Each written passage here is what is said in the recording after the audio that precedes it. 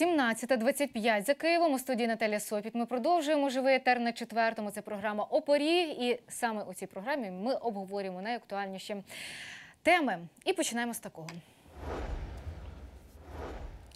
Правоохоронці проводять одночасно 28 обшуків у службових кабінетах Міністерства соціальної політики, Державної служби зайнятості та у помешканнях посадовців. Про це повідомляє прес-служба Держбюра розслідувань. Нагадаю, раніше стало відомо про затримання очільника Держслужби зайнятості Валерія Ярошенка та інших урядників відомства. За даними ДБР, вони отримували так звані відкати під час будівництва та проведення ремонтів у центрах зайнятості. Правоохоронці задокументували три епізоди передавання хабарів. Загальна сума на е, неправомірної вигоди близько 800 тисяч гривень. Слідчі дії тривають. Президентка Естонії Керсті Кальюлайд відвідає Київ для участі у церемонії інавгурації президента Володимира Зеленського. Про це повідомляє агентство Українські новини, посилаючись на власні джерела. Також, за даними видання, можливою є участь президента Грузії Георгія Маргвелашвілі. Нагадаю, наразі відомо, що інавгурацію 20 травня відвідає президентка Литви Деля Грибаускайте. Японію представить спецпосланець прем'єр-міністра е, Кірохіко Тояма. Німеччину 10-й президент країни Крістіан Вульф. Петро Порошенко надав українське громадянство колишньому депутатові Державної думи Росії Іллі Пономарьову. Відповідний указ президент підписав в останній робочий день своєї каденції. Про це сам екс-депутат повідомив на своїй сторінці у Фейсбуку. Нагадаю, Ілля Пономарьов був єдиним депутатом думи, який проголосував проти анексії Криму у 2014 році. У 2016-му він переїхав до Києва. Збували амфетамін та інші наркотичні речовини в особливо великих розмірах. На Прикарпатті затримали злочинну групу із трьох наркодилків. Про це повідомляє прес-служба Нацполіції. Зловмисникам від 28 до 30 років. Операцію з їхнього затримання проводили спецпризначенці Корду. Наразі тривають слідчі дії. Вирішують питання про оголошення підозр фігурантам.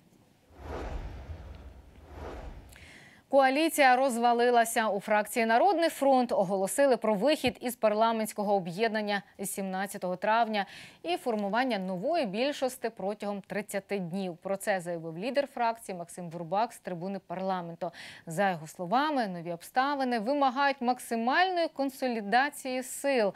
Новий президент, новий парламент, нова коаліція.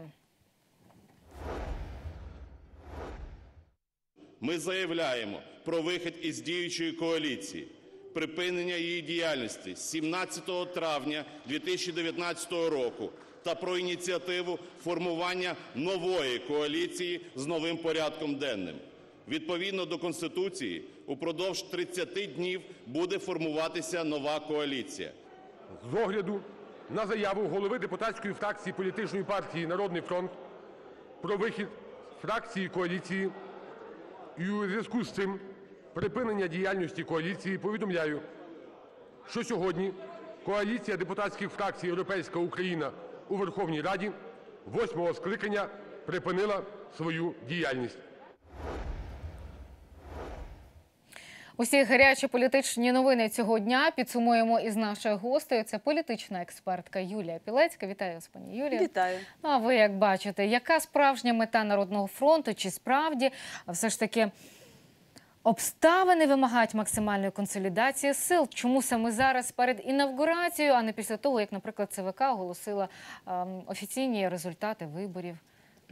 Насправді певна логіка в тому, що саме перед інаугурацією є, і ми очікували, навіть якби була інаугурація на 28 число, як того хотів Андрій Парубій, то теж цілком логічно, що е, президент, який відходить, і відповідно пропрезидентська більшість, яка була покликана виконувати програму дій президента Порошенка і скріпила це своїми підписами, має теж відійти разом з главою держави вже в історію.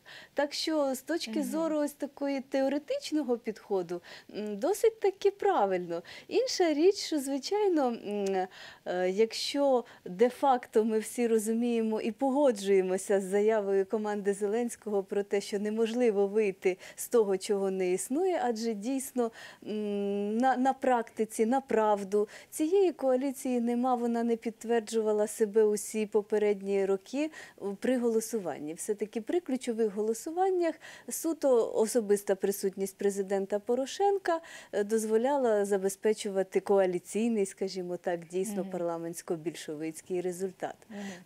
Тому зараз е, от, м, е, ви- ви- визнання вже і юридичного шлейфу за ось цією фактичною даністю, ну, з одного боку, може і варто було б. В принципі, якщо багато років ось ця рушниця висіла на стіні, і всі говорили, коаліції нема, нема, може й непогано, що нарешті це визнали юридично.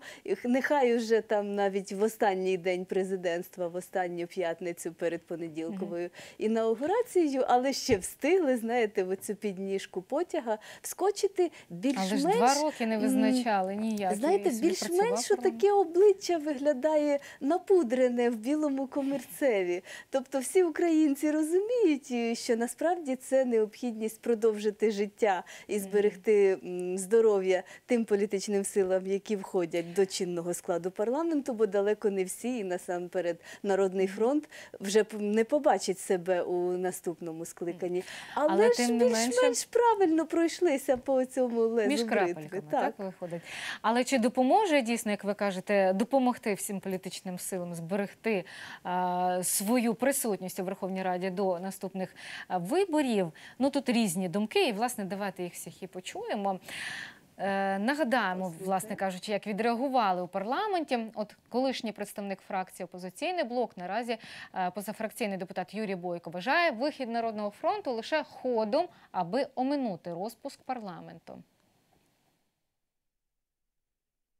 Я думаю, що вона е, є рішення суду, що немає коаліції вже давно. І час 30 днів вже пройшов. Коаліція не була сформована. Сьогоднішня заява має на мету тільки, щоб уникнути розпуску. Але я думаю, що парламент, який має 4% довіри населенню, повинен бути розпущений. У самопомочі про розпад коаліції не шкодують і наголосили, приєднуватись до нової не планують. Самопоміч висловила своє ставлення до коаліції ще у 2016 році. Ці люди кращими не стали. Навпаки, показали дуже багато своїх нездатностей. Самопоміч не бачить можливості вступати з цими людьми в коаліцію. Тим часом у БПП переконані, що розпуск парламенту неминучий. Колеги, мені здається, знаєте, хапаються за якусь соломинку. Їм здається, що це якимось чином там може відтягнути час. Не треба, як на мене, це робити. Нічого це вже не дасть. Я впевнений, що буде розпуск парламенту. Причому я даю ж 90%, що він відбудеться в той в день інаугурації.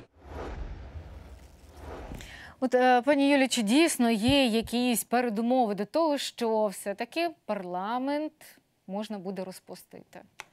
Боюсь, що все-таки немає насправді цих важелів. Ну, Юрій Бойко, звичайно, згадав про рішення суду, і ми так орієнтовно пам'ятаємо, що це кінець Я минулого року, що це десь було про позови, а от з приводу рішення суду. От я якщо було знайти. рішення суду і є певні процесуальні сроки, відразу виникає питання до опозиційних сил. А чому ж не впроваджувалося і де, де державна виконавча служба, яка вчиняє виконавчі дії відповідно?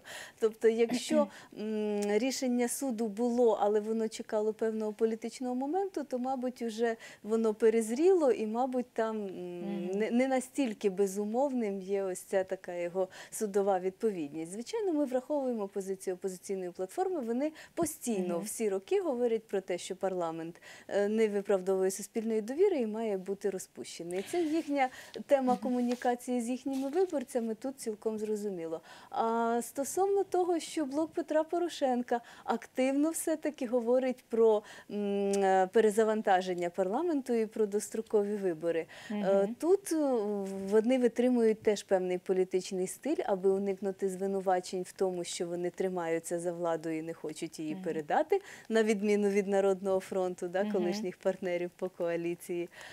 Вони всіляко комунікують, що власне вони абсолютно готові цивілізовано європейськи передати владу. Ніхто за і за важелі не тримається.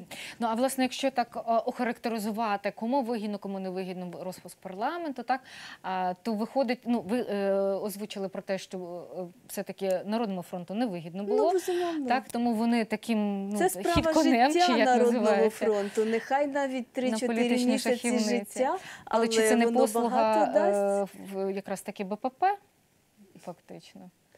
Е, Послуга стосовно чого? Аби Ну, й то- продовжити життя блоку Петра Порошенка? Е, я маю на увазі, що все-таки, е, умовно кажучи, послуги та, в лапках, тому що, е, наскільки я розумію, БПП е, якраз таки прагнуло до швидкого розпуску парламенту, наче поки е, іще є якісь рейтинги, на цьому можна Так, було б ще залишається рейтинг, ще залишається прагнення виборців в одній команді помститися коаліції. переможцю Зеленському. І ми маємо відмітити, що насправді депутати від БПП, а особливо мажоритарна складова, увесь цей час займалися підготовкою до виборів на своїх округах і готові до виборів. Те ж саме, власне, можна сказати і про депутатів-мажоритарників з Народного фронту. Але Народний фронт тут намагається все-таки дотримати ось ці командні домовленості і захистити усіх своїх народних депутатів, тобто не тільки тих, які є важковаговиками, мають ресурси обратися по одномандатних округах, але й ті, хто потрапив до списку, а там значна кількість журналістів, громадських активістів, військових людей, е, ті, які ще ну, хочуть послугувати державі в лавах. Так, от е, власне, чи є ймовірність того, що е, цей парламент, ну умовно кажучи, ми розуміємо, що його розпуск уже з юридичної точки зору наймовірніше неможливий.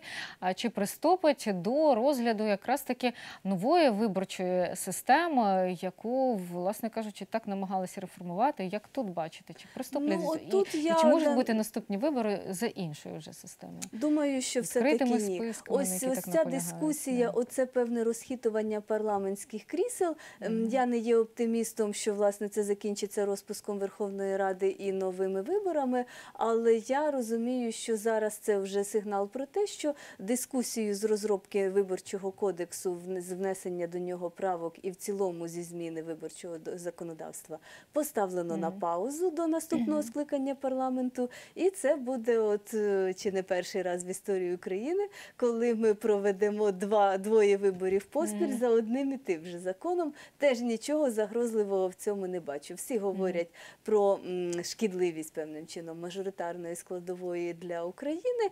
Не настільки це шкідливо, тому що будемо об'єктивні. Виборці все таки хочуть. От ми ще залишаємося з елементами цього традиційного бачення, коли ми маємо знати, хто наш депутат, ми маємо ходити на прийом. Ми хотіли б, щоб він звітувався. Це десь нам приємно, це десь в рамках української традиції. Хоча, звичайно, ціннісно ми всі прихильники відкритих е, гнучких м'яких списків. Але це ще до нас прийде не цього літа, але, мабуть, наступного. Ну і давайте ще почуємо ще кілька позицій фракції парламенту щодо майбутньої коаліції, ну зокрема від батьківщини та радикальної партії Олега Ляшка. Але однозначна позиція, якщо нова коаліція, як це було з самого початку, буде створена на принципах змін, за які проголосували люди, якщо будуть конкретні кроки, якщо буде е, реалізація цих змін, е, в нашому контексті ви знаєте, що ми можемо запропонувати коаліції новий курс. Тільки на таких принципах можуть сформуватися будь-які перемовини. Ми готові до обговорення е, формату нової коаліції е, на наших умовах, якщо будуть е, обговорюватися не політичні питання, а в першу чергу економічні і соціальні, за умови зміни радикальної економічної політики, перегляду бюджету, прибирання звідти всіх корупційних схем Порошенка і його команди, підвищення пенсій і зарплат, перегляд політики щодо ціноутворення ціни на газ. Ну, бачите, кожної політичної сили є певні свої умови. Наскільки вони, з вашого погляду, збігаються із тими політичними силами, які готові вступити до коаліції. Ну, от самопоміч ми поки що не чіпаємо. Вони от заявили, що ще 16-го року стало зрозуміло, що е, не варто формуватися в коаліцію, нікуди входити, тому вони залишаються на позиції поза. Принципово опозиційні.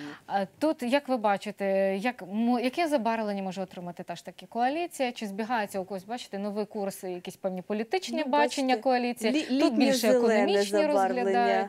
А, а ви як бачите? М. так? Е, Ну, бачите, тоді, коли власне Батьківщина і Радикальна партія залишили правлячу коаліцію імені Петра Порошенка і перейшли до такої постмайданівської опозиції, зрозумілим, ніби як наступною віхою є для них, звичайно ж, підтримати нового альтернативного президента і запропонувати йому свій курс, тому що ми ще бачимо, і вони бачать соціологічні зрізи Мгм.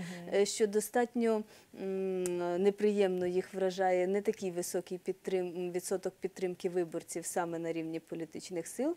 Е, Порівняно з минулими виборами втрачає рейтингово поки що, як показують соціологічні заміри, і батьківщина, а радикальна партія взагалі ніби як на межі прохідного бар'єру опиняється. Тому їм якраз вигідно зараз увійти в коаліцію з, з майбутньою, скажімо так, партією Слуга народу, які малюють там мало не 40% підтримки виборців. Це така цікава політична ніша, всередині якої, будучи партнерами по коаліції, коригуючи, підказуючи, дійсно пропонуючи, от в батьківщини досить серйозний політичний бекграунд, напрацьовано дійсно новий курс, багато по- програмних концептуальних документів, велика команда, розголужена структура. Це все, чого не має партія Слуга народу. Відповідно, відбудеться ось такий обмін, е, структура і розроблена е, в інфраструктура ідеалі виглядає з на, вашої риторики. на але- мрію. І відповідно, ось це перетікання певним чином з цих 40% трошечки додати батьківщині і радикальній партії. Вони відчувають цей потенціал відкусити, от в рамках такого партнерства, спрацювати так м'яко на спойлерство і накачати собі м'язи до чергових виборів. А заявлені умови вони є надто високими, не надто високими, чи нормальними, чи якраз таки кожна політична сила говорить про те, що хоче, на їхню думку, почути Ну, виборець. Для, От для як ви кажете, радикальні. позицій цілком нормальні Так, партія і цілком аргументовані. не і розуміє та взагалі- потреби е, в- в- От- виборця. От я б чекала навіть в рамках такої коаліції, що ці партнери, знаючи риторику і Ляшка і Юлії Тимошенко, були б такими партнерами, які б постійно коригували курс президента Зеленського і так м, однією рукою допомагаючи, іншою рукою б його там підкритиковували, підправляли з тим, аби показати, що все-таки вони є от запорукою того, що новий президент буде там подобатися або не подобатися народу. Тобто і допомогти Зеленському, але насамперед допомогти собі за рахунок ось такої по- по- позиченої мрії. Ну а те, що теж заявляють, і зокрема ті ж такі радикали про е, зниження тарифів, е, газу і таке інше. Наскільки Ну. це дійсно залежить від них у коаліції? Ну щоб виборець на майбутнє розумів, так? Чи варто довіряти таким е, умовам, на яких готова піти політична сила в Е, коаліцію? Ну, знову ж таки, теоретично за стартовими умовами цілком залежить, тому що якщо буде переформатовано коаліцію, це потягне за собою і переформатування уряду. Це дозволило б радикалам і представникам батьківщини претендувати на місце на от такі от місця, які приймають рішення у складі кабінету міністрів. І мені навіть здається, що чинний прем'єр Гройсман, який їздив, зустрічався з паном Зеленським, пішов би на ось таку переформатування структури уряду. І в принципі, адже і в Зеленського протягом всієї виборчої кампанії була риторика стосовно зниження тарифів і стосовно ось таких проривних реформ. І приблизно ось така дуже яскраво соціально орієнтована риторика от е, проривних інновацій, реформ і е, раціоналізації всього, що у нас там непомірно завищено, була і у батьківщини. Вони цілком могли би спрацюватися абсолютно. Залишилося тільки зрозуміти. е, Залишилось домовитись з- на рівні лідерів. У нас найбільша проблема завжди в цьому. І, і ще зрозуміти, як далі буде співпраця з МВФ. Та? Ну, не просто ж формувалися тарифи урядом. Ну і власне не можна вийти з того, чого немає. Так, на вихід фракції Народний фронт з коаліції та на її руйнування відреагували у команді переможця президентських виборів Володимира Зеленського. Пише УНН. Сьогодні одна із фракцій у Верховній Раді цитую, вирішила вийти з коаліції. Але як можна вийти з того, чого немає? Фактично коаліції не існує вже три роки з того часу, як її залишили фракції самопоміч, батьківщини та радикальної партії Олега Ляшка. Йдеться у повідомленні у прес-служби Зеленського. А, то а як дійсно тоді можна вийти з того, чого немає? Але з іншого боку, а, з юридичної точки зору ніхто На не жаль, доводив є. того, що немає ось це коаліції. такий да. урок для нашого політичного класу, так само, як для будь-якого конкретного громадянина. От якщо ми з вами маємо якісь неврегульовані правові питання, які нам на певному етапі можуть вилізти боком, то ми намагаємося їх врегулювати, аби убезпечити себе від таких ризиків. А ось політики, бачите, юридично, нормативно не врегулювали ось цей фактичний стан. Вони поставили його на паузу. У них була певна мовчазна згода, що так, коаліції немає, але нехай уже як є. Там кажуть, ремонт у стилі хай-тек закінчився консенсусом Хай-так. хай-так. І ось тепер ми всі розуміємо, дійсно коаліції немає. Але на рівні юридичного факту цього на превеликий жаль не зафіксовано. Тому, мабуть, у полоні ось цього цієї фактичної і- і юридичної колізії ми ще побудемо літом, і нам ці ризики пом'якшить гарна погода і оновлення політичного істеблішменту. Так, і також ще долучимо до нашої розмови телефоном Олександра Мусієнка, політичного експерта. Вітаю вас. Вітаю. Пане Олександре, от ем, з вашої точки зору, чи залишились законні підстави розпуску парламенту з урахуванням того, що коаліції немає вже? Ну, е, дивіться, тут же ж виходить, е, виходити треба з того, хто як трактує, коли коаліції не було. Хтось трактує зараз, як, наприклад, Народний фронт і деякі інші депутати, експерти, що коаліція розпалась сьогодні, в момент, коли про це оголосив голова Верховної Ради з трибуни. Хтось каже про те, що слухайте, ну коаліції ніколи не було, тому що вона коаліція депутатських фракцій налічувала максимум 215 чоловік, а має бути 226, як ми знаємо. Її немає практично там з 2016 року. От якраз е, якщо послухати представників команди Зеленського, вони дотримуються другої версії. Вони не сприймають те, що сьогодні відбулося, бо вони кажуть, що сьогодні відбулося те, що давно вже відбулося. Тобто, як можна вийти з коаліції, якої не було? Але юридично боку, воно ж ніяк не зафіксовано, що її не було. Парламент працював, ухвалював певні рішення. А тут як із цим бути, і чи дійсно Зеленський е, ну, команда Зеленського може наполягати на тому, що коаліції і не було, як вони це доведуть, чи це буде якось через судові позови? От від е, пана Бойка ми почули, що навіть якесь судове рішення з приводу того, що коаліції вже давно немає, є. Я, чесно кажучи, не змогла знайти жодного такого судового рішення. Знаю, що були позови від певних депутатів, від деяких депутатів. Як із цим усім бути? Скажіть, будь ласка, які можна чи можна взагалі продумати, які можуть бути далі е, дії е, від команди Зеленського?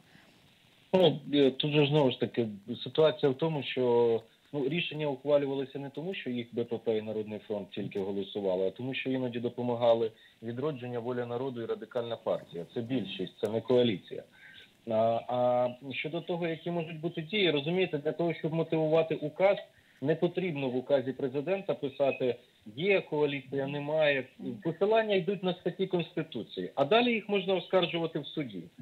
От ризиком, яким може бути, якщо розпустять зараз парламент, це те, що е, хтось звернеться до суду, і суд своєю ухвалою може призупинити дію указу президента і е, призупинити, ну заборонити центральній виборчій комісії вчиняти будь-які дії, спрямовані на проведення виборчого процесу. Оце є єдиний ризик. Інших ризиків е, практично тут е, їх зараз немає. Це єдине, що може стримати е, Зеленського від розпуску. Тому що якщо буде така заборона, то судові процеси дотягнуться ну е, до е, там фактично до жовтня, вже до чергових виборів. Це єдине, що зараз їх стримує, над чим вони думають. Інших у них е, перешкод в принципі немає. І ще, пане Олександре, що стосується кадрових рішень, умовно кажучи, що ми маємо на сьогодні? От Павло Клімкін, так Ірина Луценко подали відставку.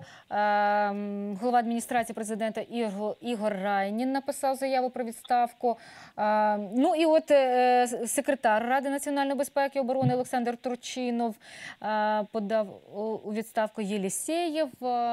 Ну і таке інше. От тут, як ви вважаєте, під завісу, умовно кажучи, перед самою інавгурацією, може, в останній свій робочий день подали ем, ці посадові особи у відставку. Це про що свідчить? Чому це не було зроблено раніше? Щоб можна було передати владу? Ем, чи тому, що не було ніяких е, від Зеленського кандидатур? Як ви бачите? Ну а передавати владу то кому?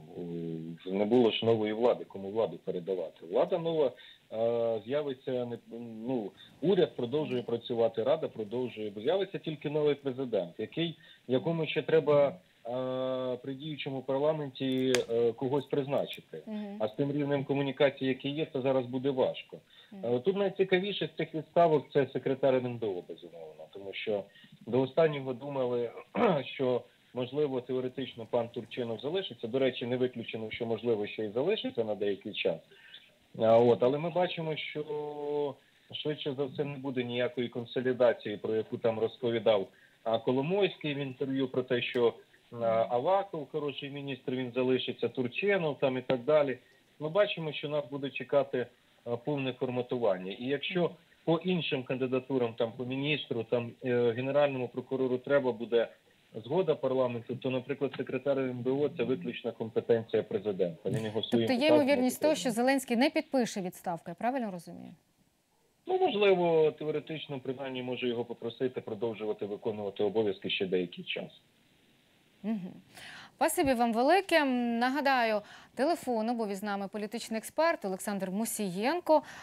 Пані Юлі, у вас є теж з приводу цього коментар, так? Можливо, ви вбачаєте якісь підводні камені у цих Ну, відставках? Суто технологічно, не в інтересі Зеленського ми маємо розуміти, не підписати ці відставки і просити когось із членів колишньої, як він говорив, команди, тих людей, які не є новими людьми, продовжувати там навіть день виконувати обов'язки. Тому дуже правильно, що всі ці посадовці, дійсно призначення яких стосується виняткової компетенції президента і не потребує жодних погоджень, вони правильно в цю останню п'ятницю написали заяву про відставку з тим, аби новопризначений президент міг презентувати практично команду. От ми ж так розуміємо, ми сподіваємося, і 70% українців на це сподіваються, що ось Володимир Зеленський мовчить, але в нього вже просто повністю готова нова державна машина. Яку він, ймовірно, на інавгурації просто такий.